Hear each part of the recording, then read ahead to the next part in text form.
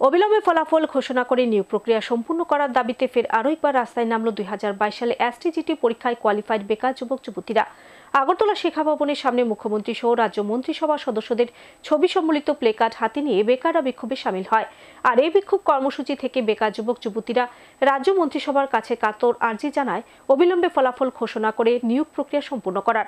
দাবি পূরণে মন্ত্রিসভা প্রয়োজনীয় উদ্যোগ গ্রহণ না করলে আগামী দিন আরও বৃহত্তর আন্দোলন গড়ে তোলার বার্তা দিলেন তারা। রাজ্য সরকারের উদ্যোগে দুই হাজার বাইশ সালে অনুষ্ঠিত এসটিজিটি পরীক্ষার ফলাফল এখনও পর্যন্ত ঘোষণা করা হয়নি।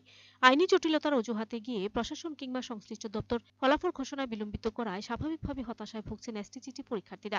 দীর্ঘ প্রায় সতেরো মাস অতিক্রান্ত হওয়া সত্ত্বেও এ বিষয়ে কোনো ধরনের উদ্যোগ নেই প্রশাসনের। এতে করে হতাশা যেন ক্রমশ আরও বাড়ছে তাদের। এর মধ্যে এসটিজিটি পরীক্ষায় কার্ট অফ মার্কসের ভিত্তিতে কোয়ালিফাই বেকার যুবক যুবতীরা দফায় দফায় রাস্তায় নামছেন ফলাফল ঘোষণা সহ বিলম্বে তাদের নিয়োগ প্রক্রিয়া সম্পূর্ণ করা দাবি নিয়ে। কখনো শিক্ষা ভবনে, আবার কখনো মুখ্যমন্ত্রী বাসভবনের সামনে গিয়ে বিক্ষোভ কর্মসূচিতে সামিল হচ্ছেন তারা।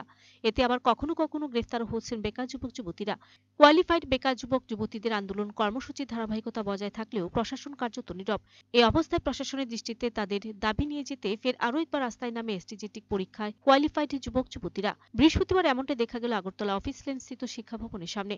পরীক্ষার ফলাফল দ্রুত ঘোষণার পাশাপাশি নিয়োগ প্রক্রিয়া সম্পূর্ণ করার দাবিতে এদিন শিক্ষা ভবনের সামনে বিক্ষোভ দেখা বেকার যুবক যুবতীরা। প্রত্যেকেরই হাতে ছিল মুখ্যমন্ত্রী সহ মন্ত্রিসভার সদস্যদের ছবি সহ দাবির প্লেকার্ড। এই বিক্ষোভ কর্মসূচি থেকে বেকাররা রাজ্যের মুখ্যমন্ত্রী থেকে শুরু করে মন্ত্রিসভা সদস্যদের কাছে কাতর আর্জি জানান, অবিলম্বে ফলাফল ঘোষণা করে নিয়োগ প্রক্রিয়া সম্পূর্ণ করার। তাদের অভিযোগ, এমনিতে রাজ্য সরকারি স্কুলগুলিতে রয়েছে পর্যাপ্ত শিক্ষকের অভাব, আর এতে করে স্বাভাবিকভাবে ব্যাহত হচ্ছে ছাত্রছাত্রীদের পড়াশোনা। তাই এই সমস্যা দূরীকরণে এসটিজিটি পরীক্ষা ফলাফল ঘোষণা করে নিয়োগ প্রক্রিয়া দ্রুততার সাথে সম্পূর্ণ করার দাবি জানান বেকার যুবক, যুবতীরা। আমরা সতেরো মাস হয়ে গেছে, আপনারাও জানেন, আমরাও জানি কী কারণে আসছি, একই কোয়েশ্চেন আপনারা করছেন আমরা সেম উত্তর দিচ্ছি, আমরা এখন হতাশ। কী করব? কোথায় যাব এখন আমরা? সতেরো মাস হয়ে গেছে, আমাদের রেজাল্ট এখনও পাবলিশড হয়নি, আমরা এসটিজিটি কোয়ালিফাই করেছি আমরা সবাই। টিআরবিটি থেকে এখনও রেজাল্ট আমাদের পাবলিশ হয়নি, অথচ আমাদের পরে ভর্তি যে এক্সাম হয়েছে টেট ওয়ান টেট টু ওদের রেজাল্ট পাবলিশ হয়ে গেছে। আমরা শুনতে পাচ্ছি যে এটা আইনি জটিলতা আছে এটাও নেই। আমরা ওয়েবসাইট খুঁজে দেখেছি এগুলো কিছু নেই। এবং এটা শুনতে পাচ্ছি যে এটা হ্যাঁ, সুপ্রিম কোর্টে বিচারাধীন আছে।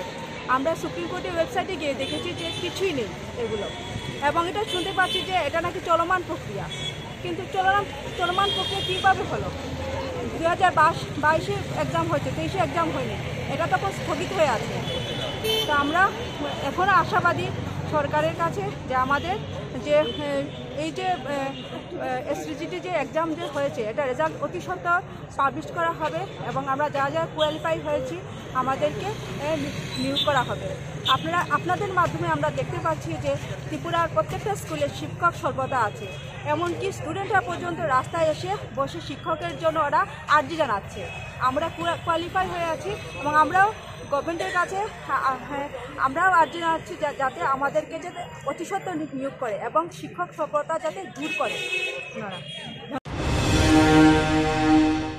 Report সার্চিন India